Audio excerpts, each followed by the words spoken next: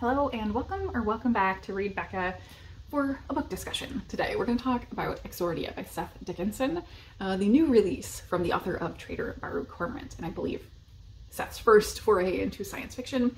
This is a deceptively short looking book, but it's over 500 pages and it, it is very, very vast and expansive while also being almost entirely set in one location and set over a relatively short period of time in a contemporary setting for the most part. This is a chaotic first contact scenario. So we start with an individual named Anna who is in New York. She is a Kurdish American who immigrated as a child. And as a result of her past, she has a lot of trauma in her, her background, a lot of baggage, and a lot of things to overcome in her life because of that, um, prejudices against her that have prevented her from really having a lot of success. And so she is just struggling to get by, pretty much. And then one day she's walking through the park and at the turtle pond she notices an alien eating the turtles. To everyone else, it appears to be a woman eating a giant tub of yogurt, but uh, to her, she for some reason can see this alien. So I feel like that is a pretty tried and true trope of uh, sci-fi where certain people have the special ability to see aliens. Here, that is special and unique in that the alien becomes her roommate almost immediately. And I love that quirky lead in in part one. So part one is quite short and is focused entirely on Anne and this alien living together, getting to know each other. The alien increasingly um, putting demands on Anna's life and really this alien just kind of wants to sit around and read books, watch rom-coms, and, and try food. and I loved that dynamic. It was so fun and funny, and Anna is so jaded that her juxtaposed up against this alien and having these kind of deep conversations was so great. It almost gave me some Murderbot vibes there at the beginning. So, however, that is not what this book is. So, so unfortunately for I think me and a lot of readers, I wanted that to be the book. I, I really love that part the most. Um, but I did also very much enjoy what this book is. So immediately after that first short part where we're introduced, we wind up on a frenetic journey across the world to the location of an alien object. Things begin moving increasingly quickly, and it is, I think, intentionally disorienting and jarring by alternating perspectives, by putting us in the heads of people with very different viewpoints about the world, a really wide and diverse cast. The characterization is very rich though, so they all feel like tangible, believable characters who have unique identities, different life experiences, and really, really different perspectives on the situation that they are in. And as I said, this is a very chaotic first contact in that your usual first contact situation, uh, you have kind of all the world governments and specialists, the best of the best, coming together to solve a problem, right? Here, not so much. We have a, a couple of military guys from the US who are involved in covert drone programs and have had some some gray moral questions in their background that we explore through their characterization we're introduced to them along with some some individuals who are STEM specialists, and they're they're kind of just starting to set up. And we, we watch as people setting up, then chaos explodes periodically. We randomly will have things like strangers just driving up, screaming in different languages that they don't understand each other. People holding guns on both sides, not knowing how they should react, and then kind of going, oh, the Russians are here or the Chinese are here. And it is that sort of sense that makes it feel realism to me. I feel like there would be a lot less cooperation than is usually depicted in these sort of scenarios. So the chaos feels very real and believable. And as we're jumping heads constantly through the middle section of the book, we are seeing so many different sides of what could be happening. The sense of playfulness and humor to the characters, I think, really lends to them feeling real uh, because even in really dire circumstances, they are still cracking jokes sometimes with each other and even inadvertently saying very humorous things because they're kind of in an awkward situation. and they each have their own quirks, definitely. Uh, at one point, I think there are people running around kind of concerned that things are going down and saying, well, maybe we should get out of here and asking, well, what, what do you want to do? to this person who's really focused on solving the math problem of this thing that they're facing. And And the person responds basically just, well, I kind of want to stay and just keep doing my math. and it was so funny. It cracked me up in the moment because I could exactly relate to to that of just being so focused on the problem and not worrying about anything outside. And I think that for me, if you like uh, maybe Hannu Rajaniemi and Max Gladstone, those are very good comparisons because they also have a really rich sense of characterization and world building in a similar way to this that always has a sort of playful feel to it. And I found this really reminiscent to that. I also really love that this is engaging with non-Western perspectives. Uh, initially, this being in New York, I thought, oh, okay, we're going to get an outsider perspective, this Kurdish American immigrant in the Western world going through First Contact. But no, this almost entirely takes place outside of the Western world. It focuses a couple of characters who are American, but primarily characters who are not from a Western lens. And I think that that, that was so important for the messaging that this is trying to get across.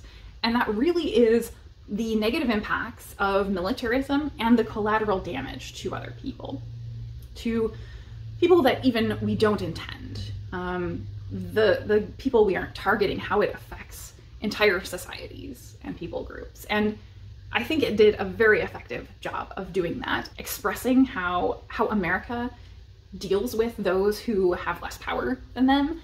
And then also looking at what happens when we're on the flip side and we have less power. Um, how do we react? And what does that mean for us?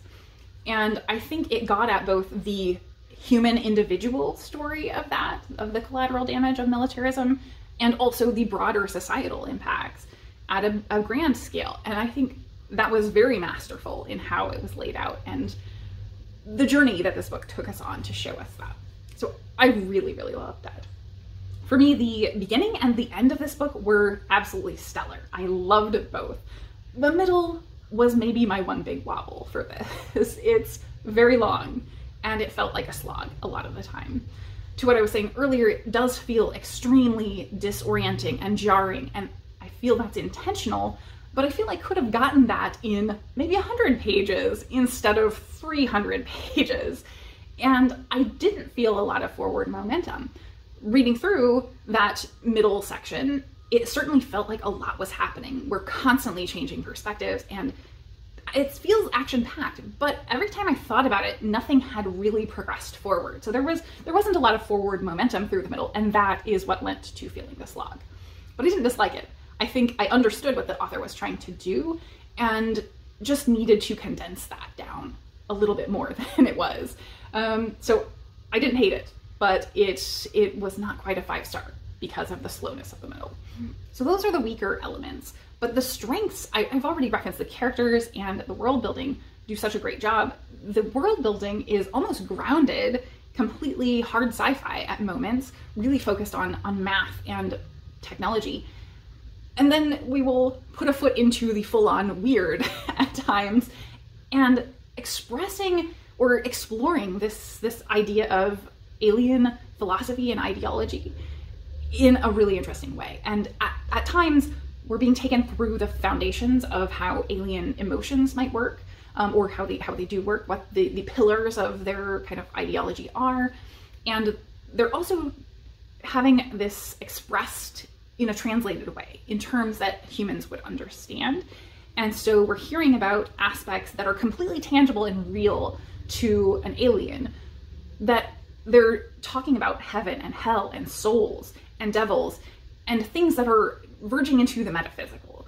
But yet they're these very real tangible things to an alien and the way that they're discussing them is it makes so much sense. And it's so it's so easy to latch onto as if it is reality so i loved the way that that juxtaposition of of really hard true science and metaphysical were right up against each other. And from the characters the strength there in characterization is just how diverse and, and broad ranging the perspectives are and that dickinson managed to get into everybody's heads and emotions for us. Um, there's a really lengthy author's note at the back where he he talks about having gone through so much effort to get it right. And kind of apologizing if he doesn't get it right because he recognizes he doesn't have all of these perspectives, but he really put himself out there to do everything within his power to make sure.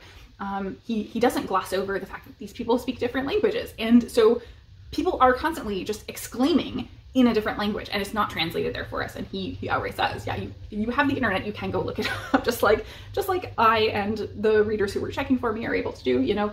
We all have that ability now and that that connectedness now i think so that was that was interesting and something that we are seeing more and more of i think in books and i love that he remained true to that vision of keeping these characters as as they are in their their own mind, um, not sanitizing them into something that is a little bit more palatable or easy to read, I guess, because they do have these truly, for me, very foreign perspectives. And there are times because I, I love linguistics in sci-fi, I think it was underexplored here maybe, where I wanted to, it to be at the forefront. I think it is a very background element that this is super anthropological and linguistic, but that's it's not directly foreground. I really enjoyed having it in the back of my mind of like constantly questioning what language are, are people talking to each other? Is this conversation that's being had something everyone would actually be able to to know and hear because they're all speaking English, or are these people speaking in their native tongue? And so having that in the back of my mind, how how different and different life experiences that these people have been through, creating layers to what's going on through the story, really. So I just I just really enjoyed this. I think um, to what I just said, this has so many layers. There is a depth and richness to what Dickinson has explored and has laid out on the page. With that one that one detractor that it's it's overlong. It didn't need to be 500 pages, I think. Um, but as as it goes for a standalone science fiction that's exploring really big concepts. I think this did really deliver. So I don't have any major complaints about it, and it definitely pushed me to want to go explore the Baru Cormorant series more quickly than I have been because it's been sitting on my shelf for a very long time. And I know it's going to break my heart. Um, so I do actually want to, now that I've, I've kind of wrapped up what I wanted to say, this was great. It's weird. It's inventive and fresh. First contact sci-fi with a lot of chaos, a lot of commentary on militarism and collateral damage that we're doing in this world that feels very timely. Um, so if you do not want spoilers, I will leave that there. But if you want to stay for spoilers, I want to discuss the end a little bit. So, so now is the spoilery section. Okay, so if you're here for spoilers, you want to hear what I have to say about the end because the end is wild. Um, and I've seen people actually say they think this is a cliffhanger. I do not understand how it's a cliffhanger, um, but whatever. so there are a lot of people in this book. And we continually are getting more and more people introduced, pretty much. And a lot of people die, whether they're inconsequential or consequential. and so I generally am one of those people who hates when an author kills off characters and then brings them back. That does happen, including some some primary characters. But I didn't I didn't hate it. Mainly because he just kills them off and they're immediately back.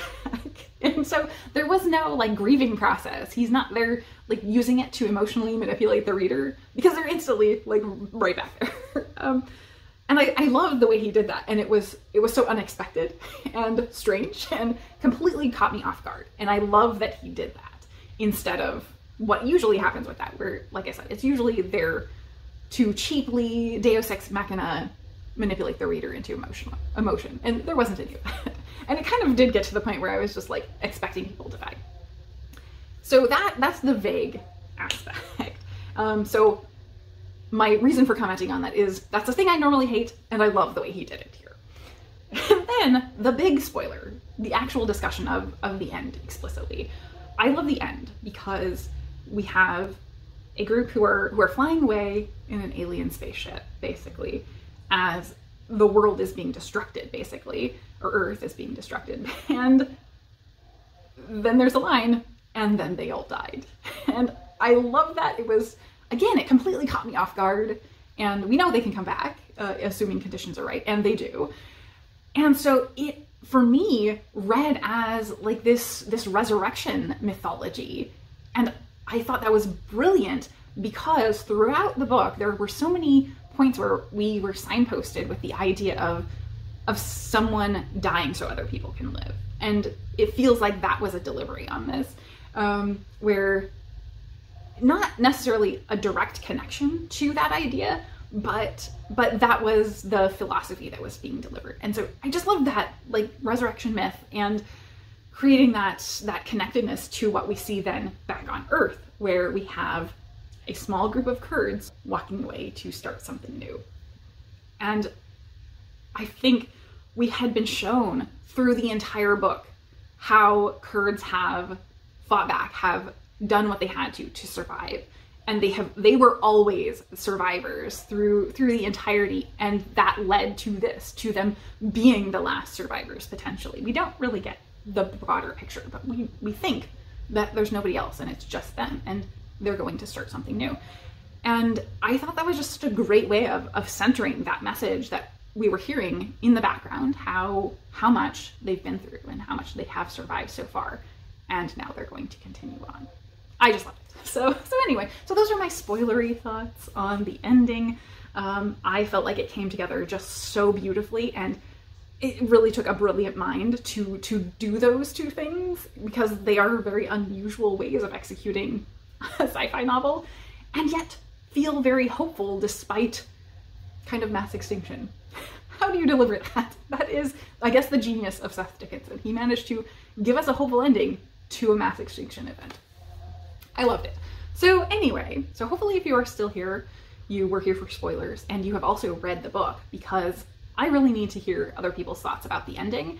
Uh, some people apparently think that it means there has to be another book, a sequel, and it does not mean that at all to me. So I'm questioning if I if I misread it. um, it is kind of it is kind of open to interpretation for sure. Uh, so leave me leave me comments down below with a lot of space so you don't spoil someone else uh, because I am desperately in need to hear what other people think about the ending. Uh, so I think that is it for me today. I highly recommend Exordia so I hope more people will pick it up and thank you so very much for watching.